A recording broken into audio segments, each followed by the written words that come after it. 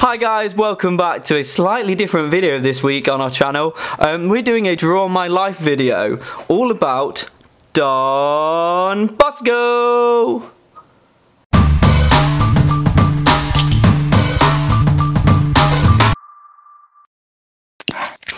Number one.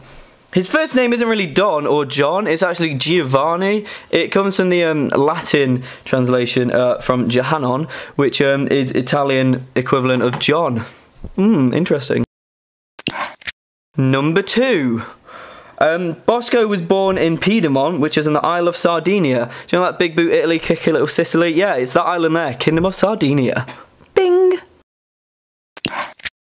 Number three, when he was 54, he established the Association of Mary Help of Christians. He said that he did nothing and it was Our Lady who did it all and he was merely her servant. The aim of the ADMA was to provide a place for young and destitute. Um, he said it all happened in a vision and Mary was, and he was like, the youth are uncontrollable and Mary was like, just love them and he was like, oh, I'll do it for you.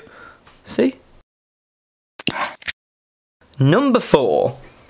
Bosco was not a rich child and would often save up all his money to go to the circus and watch the magicians. Eventually, he learnt all the tricks and would put on shows for free for the children of the area. He is now the patron saint of magicians as well, and he'll do tricks like this. See?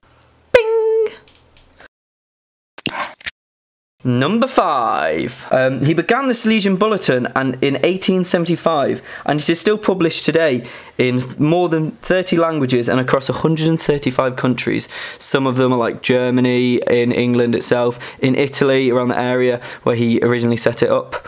And yeah, thank you for watching this video. We hope you like it. It's something different. Um, comment down below if you want to hear more or see more of these, and we will attempt to make more of them. But thanks for watching, and we'll see you soon. Bye!